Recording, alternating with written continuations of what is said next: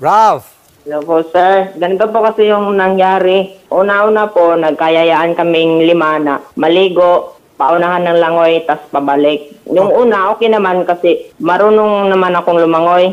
okay. Tapos yung pangalawa na nga andun, na tripan ako, na ganito eh, gawin natin yung ganyan. Siyempre ako, kaibigan ko sila simula pa bata. Nagtiwala naman ako sa kanila, kaya yun, inikot nila ako. Okay. Sa labing siyam na bisis ko. Ay, labing anim lang pala. So hilong-hilo ka na noon nung pagdating ng pang- panglabing anim at saka sa tinulak kanila sa swimming pool. Hindi ko po namalay na tinulak na ako kasi nahihilo na talaga ako. Idol Rafi Tulfo, nakausap na ang binatang nalunod sa pool dahil sa umano'y prank daw ng mga kaibigan.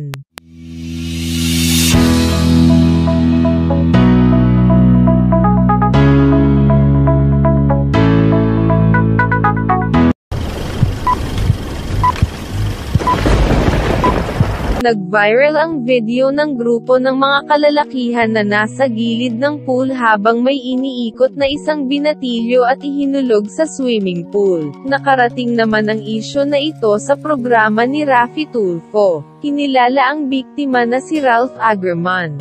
Ang nais ni Ralph ay humingi na lamang na patawad kanyang mga kaibigan sa kanilang ginawa sa kanya at maging aral na lamang ito sa kanila. Binahagi ni Ralph ang nangyari bago at pagkatapos ng ginawa sa kanya. Nagpasya silang mga kaibigan na lumangoy 5 hanggang 10 feet. Dahil sa marunong sila lumangoy, naging kampante ang lifeguard na walang masamang mangyayari. Mas marunong pa di umano ang mga binatilyo na lumangoy kaysa sa kanya. Napag-usapan din daw nila na gawin ang helicopter challenge na nagawa na nila noon. Unang ginawa ang nasabing challenge kay Ralph, dahil mga kababata at mga kaibigan niya ay nagtiwala siya sa mga ito. Inikat siya umano na nga ito ng labing-anim na beses sabay tulak sa pool. Ngunit ilang sandali, hindi na nakaahon si Ralph.